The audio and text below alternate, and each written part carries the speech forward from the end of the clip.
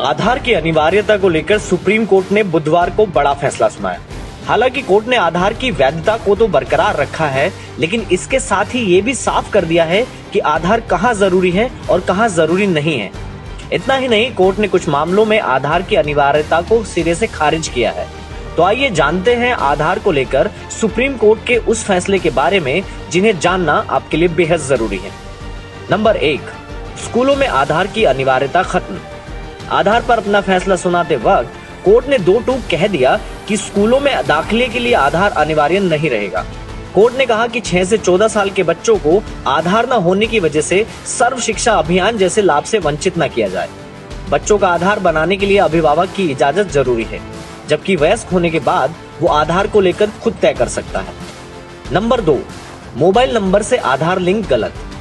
अगर आपको मोबाइल कंपनियों की ओर से अपने नंबर को आधार से लिंक कराने के मैसेज आ रहे थे तो अब आपको इससे हमेशा के लिए छुटकारा मिलने वाला है।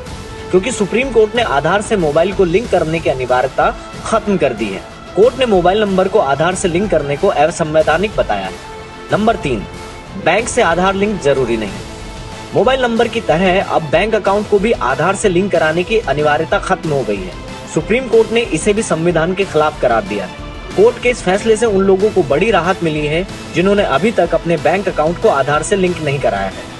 नंबर चार सीबीएसई एनईईटी यूजीसी में आधार ज़रूरी नहीं। सुप्रीम कोर्ट ने सीबीएसई एनईईटी और यूजीसी आदि में आधार को गैर ज़रूरी करार दिया है। कोर्ट ने कहा कि अगर सीबीएसई एनईईटी यूजीसी आधार को ज़रूरी बनाते हैं तो ये गलत है और वो ऐसा नहीं कर सकते हैं। नंबर पाँच, निजी कंपनियाँ आधार नहीं मांग सकती। कोर्ट के इस फैसले के बाद अब कोई भी प्राइवेट कंपनी आपसे आधार नहीं मांग सकती है। कोर्ट के फैसले के बाद अब प्राइवेट पार्टी आपका डेटा नहीं देख सकती है। इंडिया न्यूज़ वायरल की रिपोर्ट।